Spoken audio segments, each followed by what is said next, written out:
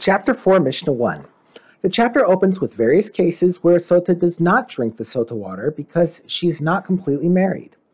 An arusa and a woman waiting for the yavam do not drink the sota water and they do not collect their kasuba payments.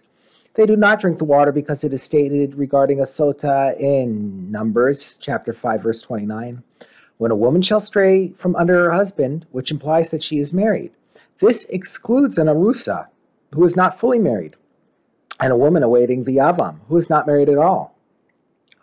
The following women are completely married, yet they do not drink the water because their marriages are forbidden.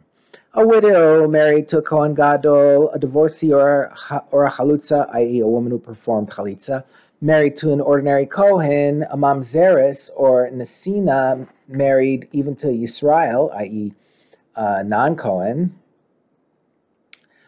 uh, and even a daughter of a Yisrael married to a mamzer or a nasin neither drink the water nor collect their kasuba payments. The sota water may be drunk only by a woman who may return to her husband. Therefore, these women who are prohibited to their husbands do not drink the water.